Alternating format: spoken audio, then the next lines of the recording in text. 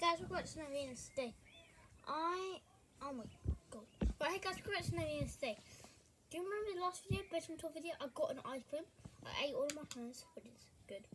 And then I got some ice cream in here that I'm about to eat. I'll put glass up. Mmm. Okay, bye.